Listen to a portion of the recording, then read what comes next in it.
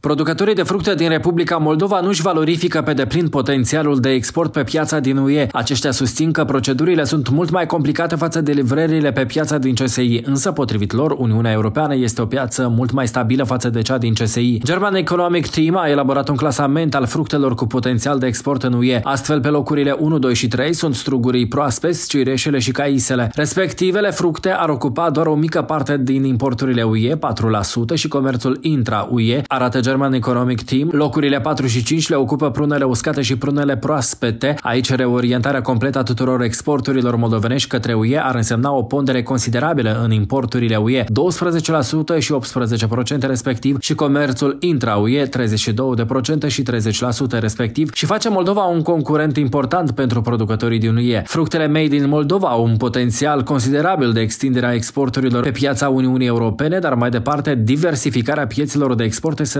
necesară pentru unele produse. În anul 2021, în top 3, producătorii de fructe din Republica Moldova au exportat în UE 1438 de tone de struguri, prune și prune proaspete, 252 de tone, zmeură proaspătă, mure, 213 tone. Anterior, estimările International Trade Center arătau că merele moldovenești sunt cele mai nevalorificate fructe pentru export în UE, cu un potențial nerealizat de 42 de milioane de dolari americani. Germania este țara cu cea mai mare potențială cerere de fructe moldovenești București, unde ar putea fi exportate produse în valoare de 35 de milioane de dolari. Dintre toate fructele crescute în Republica Moldova, în UE se mai caută în special struguri de 27 de milioane de dolari, prune proaspete de 11,2 milioane de dolari și prune uscate de aproximativ 7 milioane de dolari. Uniunea Europeană și Republica Moldova au semnat un acord de asociere în anul 2014, iar acordul a intrat pe deplin în vigoare în iulie 2016. Zona de liber schimb aprofundată și cuprinzătoare face parte integrantă din acord. Aceasta reduce tarifele tarifele cu care se confruntă întreprinderile europene atunci când exportă în Moldova și eficientizează procedurile vamale. În plus, acordul facilitează și mai mult comerțul prin apropierea progresivă a legislației, normelor și procedurilor Republicii Moldova, inclusiv a standardelor de cele ale Uniunii Europene.